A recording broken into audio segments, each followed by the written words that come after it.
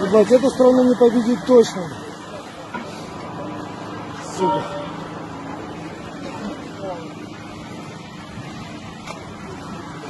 Thank you.